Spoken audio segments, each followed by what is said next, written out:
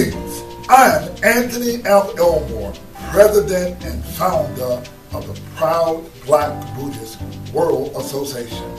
We at the Proud Black Buddhist World Association practice the Buddhist teachings as taught by the 13th century Japanese sage Nichiren Shonin. The word Nichiren means sun lotus, and the word Shonin means priest. Now, the way that we learn the Buddhist teachings is via what is called the Gosho. The Gosho are letters that Nichiren wrote to his disciples to teach them Buddhism. Now, Nichiren follows the teachings of the Buddha Shakyamuni. Now, the Buddha Shakyamuni, who lived in India, taught his highest teachings was that of the Lotus Sutra. And we at the Proud Black Buddhist World Association place the Lotus Sutra as paramount. And today we bring you an exciting Buddhist lecture. Now, our lecture today is called Tina Turner, the first documented black Buddhist in American history. It is ultimately important for black people to understand that Tina Turner is the first documented black Buddhist in American history. In the words that the old black folk used to say, God got his hand in this. It is the work of God that made Tina Turner the first documented black Buddhist in American history.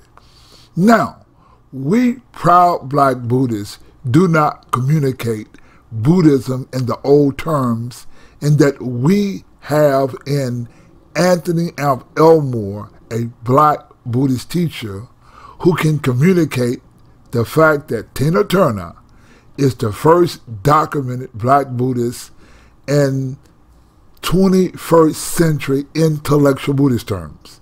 In Nichiren Buddhism, it explains phenomena via five types of vision. It is important that you have black Buddhist teachers. As a proud black Buddhist, I see and understand Buddhism from a black perspective.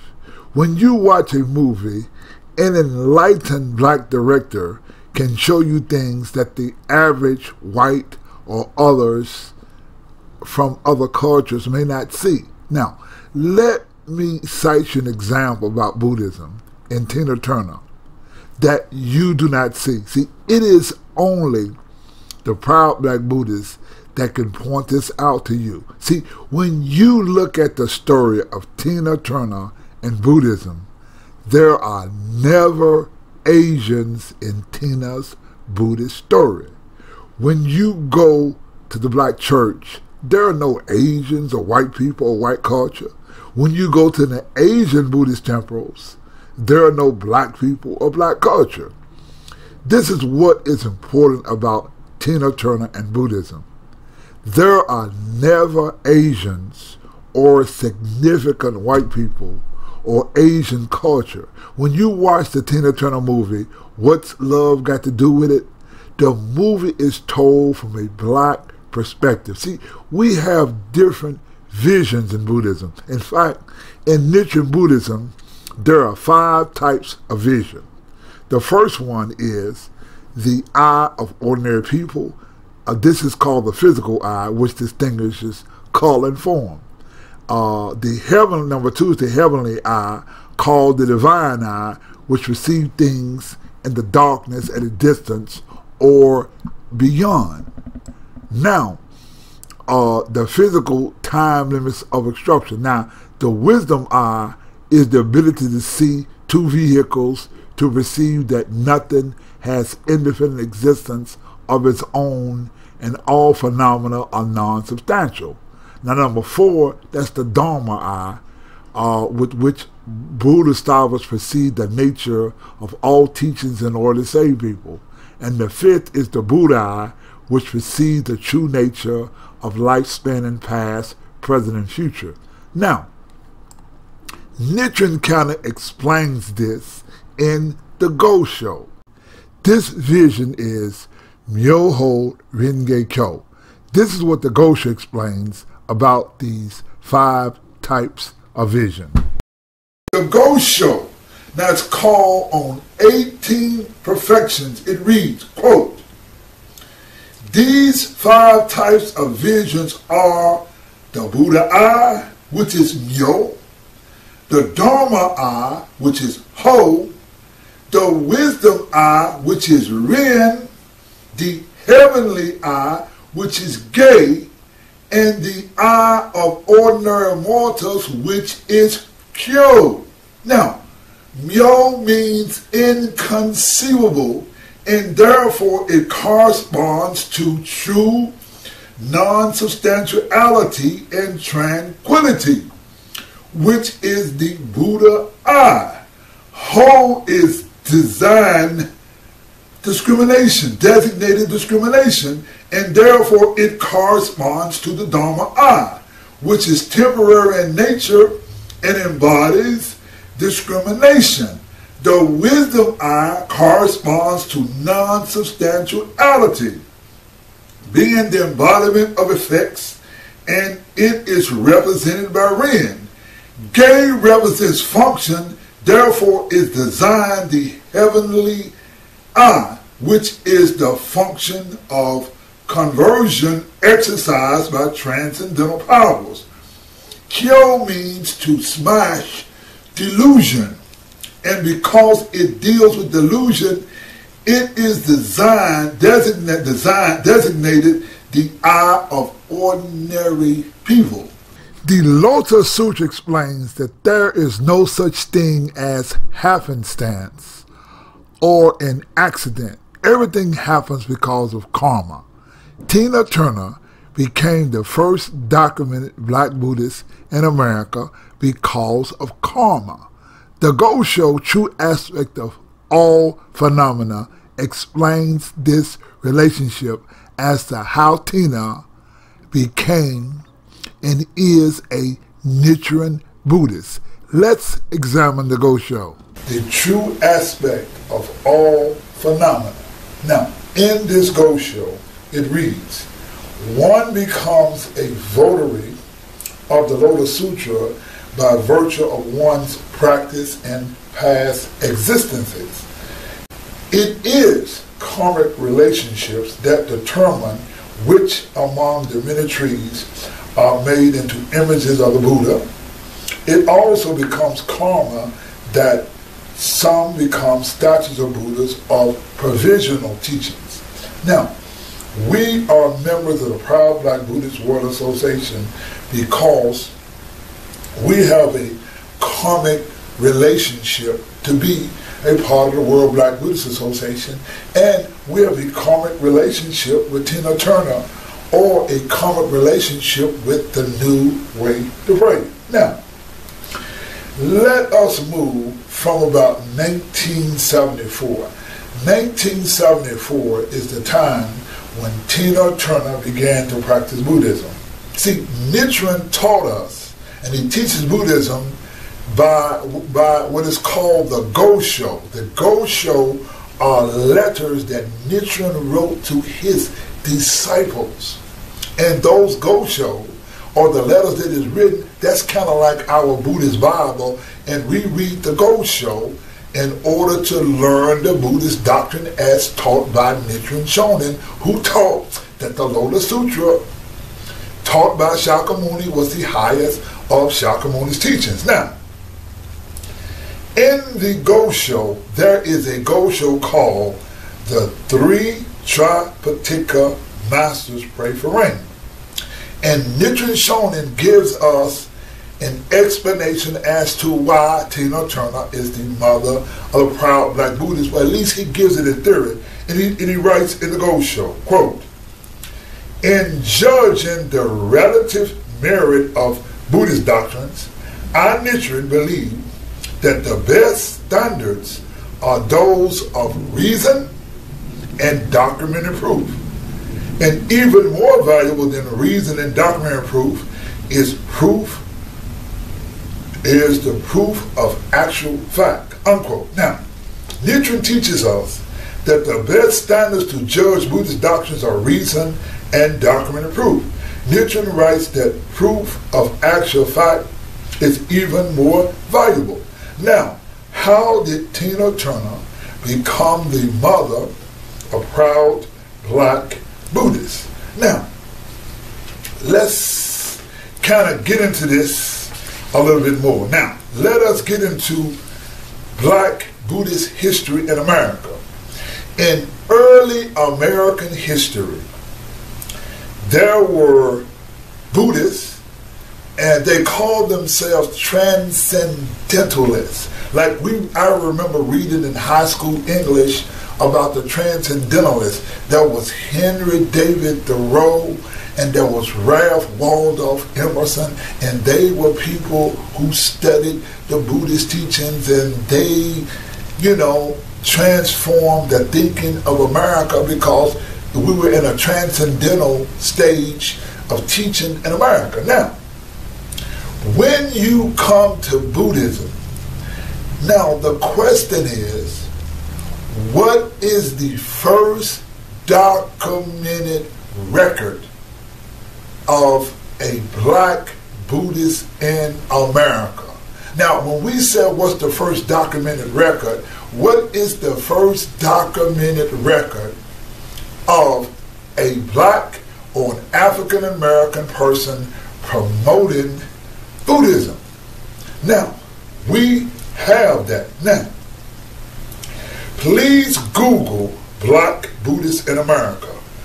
Where is the documentation of the first Buddhists in America? What we mean by first black Buddhist, we mean where is the documented evidence of a black person promoting or introducing Buddhism.